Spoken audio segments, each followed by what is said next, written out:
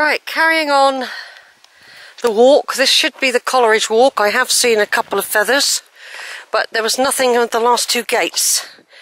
So this is one of the things that goes wrong when they don't are not um, consistent.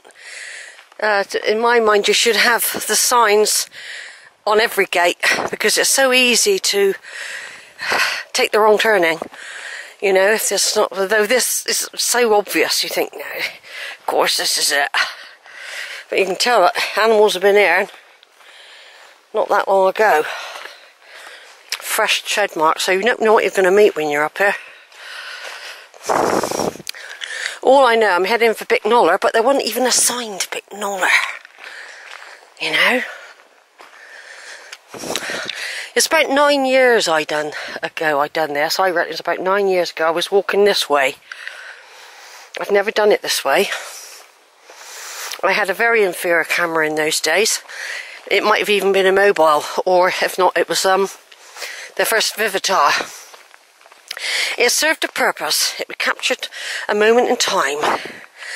I've still got them, but I never use them because they've got no proper zoom.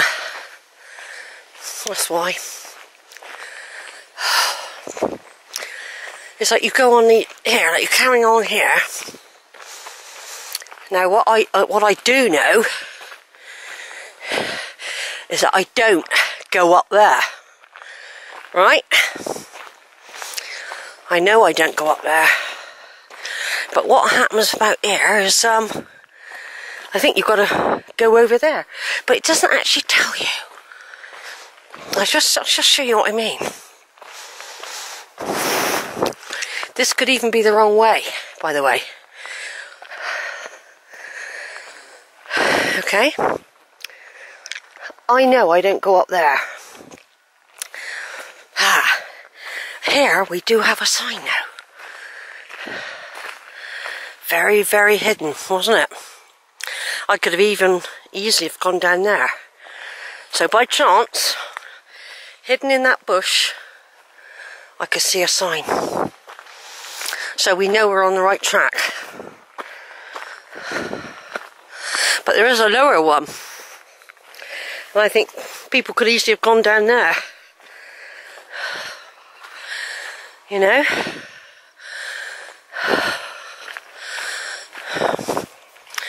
Don't know how. Yeah, it isn't very clear that one. Like I say, in the summer it's always harder because there's a lot of vegetation, a lot of tall ferns.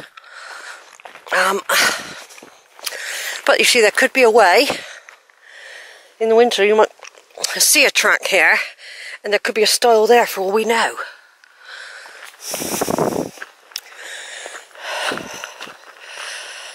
I'm going to turn off in a minute. Battery will be getting very low soon. Right, I'm going to stop here. I know I'm on the right track now. I've seen the Coleridge feather. But there is a track there, and you can probably can go across fields. But we're coming close to what will be Bicknoller village in a minute. Over and out. Right.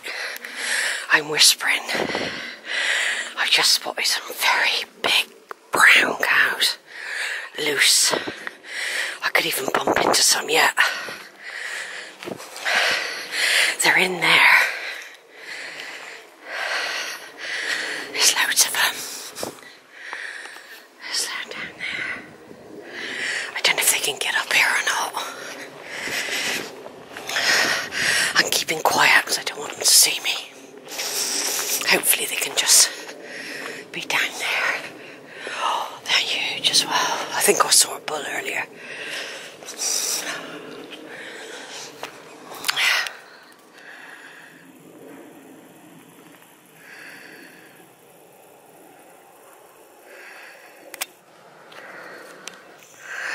There's loads of them down there. Oh, there is a wall. Maybe they can't get up here.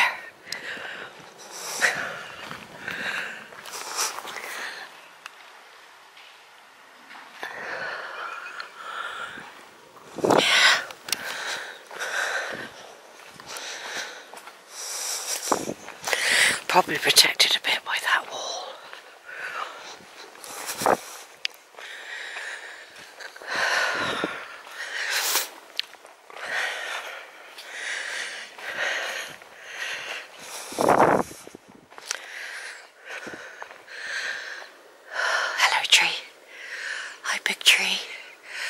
Big oak tree.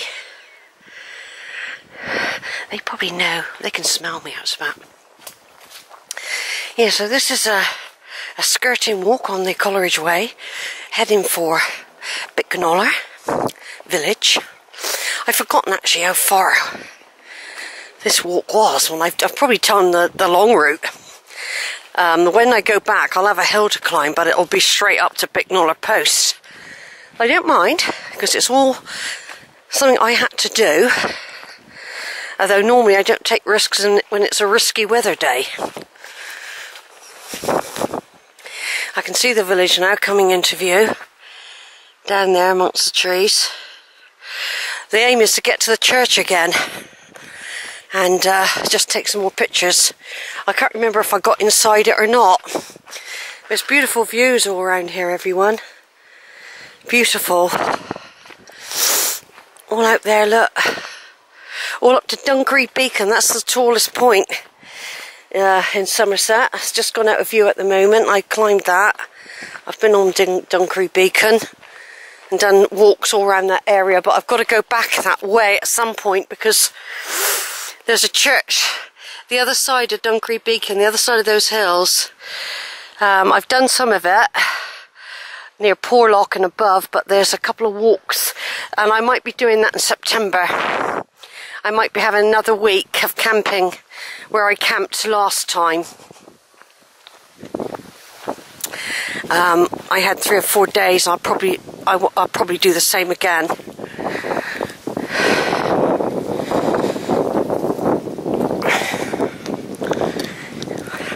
Lovely oak trees along here. It's got a lot of oak trees, um, the Quantock Hills. I mean, it was hunting ground, you see. The um, barons, nobles, lords, and kings, and queens, and princes would have wanted uh, the trees planted. Also for like um, building their navy, their warships. My battery's very low now. I think I can just see the top of the church, so I'm going to put the battery charger on. Yeah. Over and out. Let's just see if it'll play though. I've I mean, following the Coleridge route after we the Weacombe Valley, Weacombe. Um, I'll be coming back up this way for a short period and then instead of going left where I've just come, I'll go straight up. That will be the quicker way back, by the way. But I wanted to do a circular. So I didn't want to do go down and then back up the same way.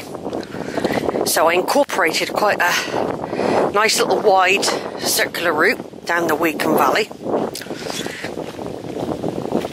And I hadn't done it for a while.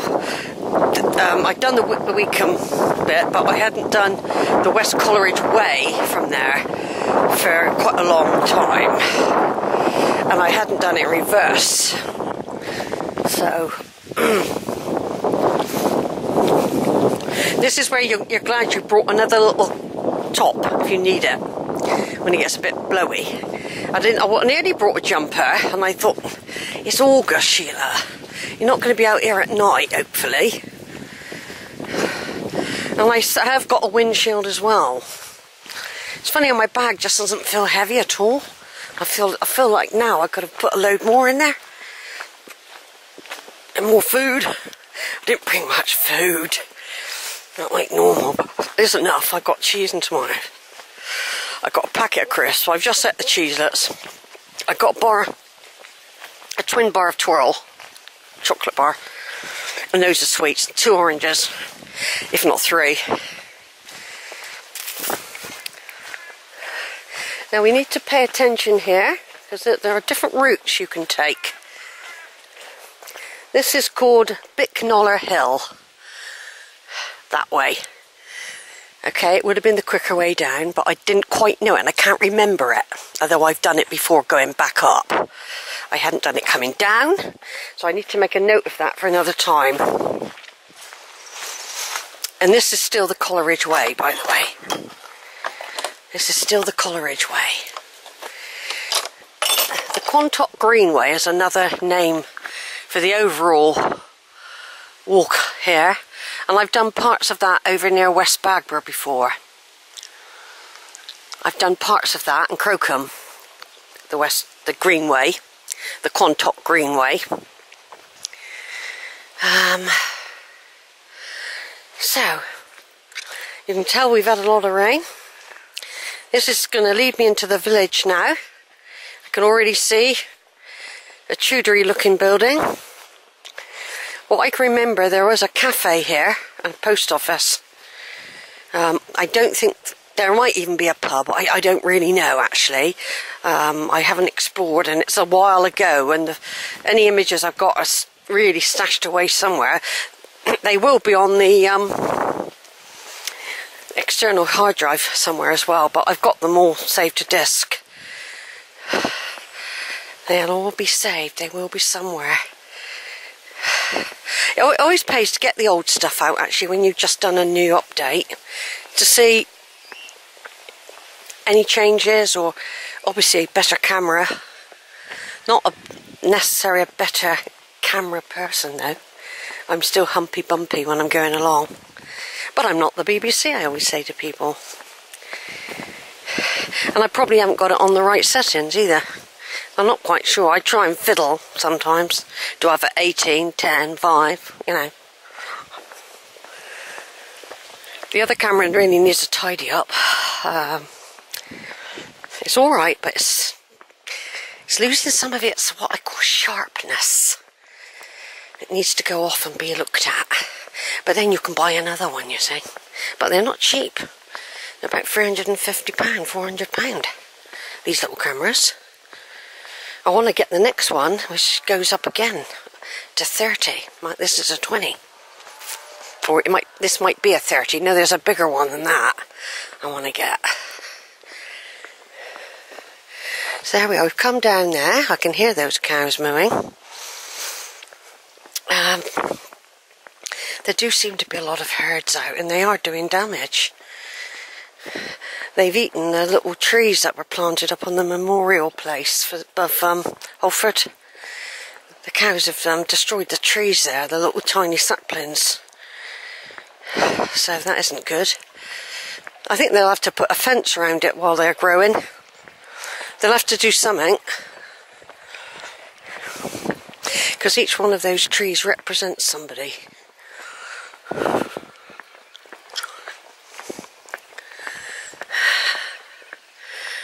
wood house there. You can tell it's old by the chimney pots and the tiles. Obviously, they get done up.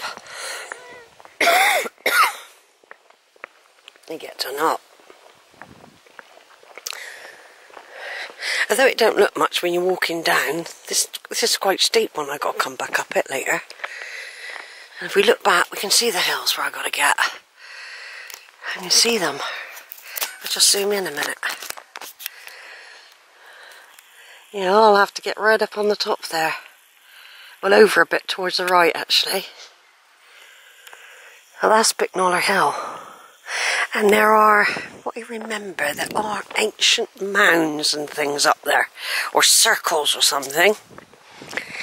But you see them better in the winter.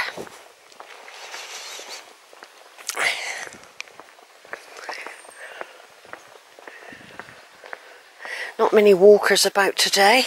Yeah, there's a bit more um, of the hill there, look. I'm not quite sure which part I've got to climb up yet, but we just follow that main bridle path on the way back. Yeah, this is where the people come for the cream tea, I think. I mean, it might have a pub. I've got no idea, I just can't remember. Because I always carry my own stuff. The most I ever get is um, a cold drink and an ice cream if I'm anywhere.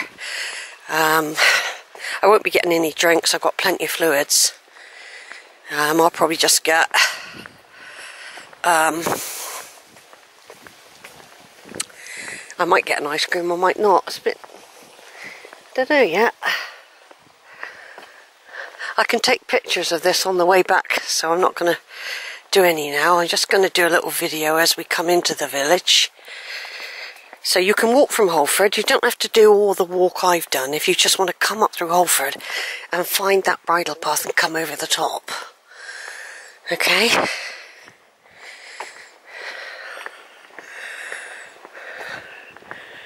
I'm just going to fit this in before the weather changes. Coombe House here. Before the weather changes. Over and out.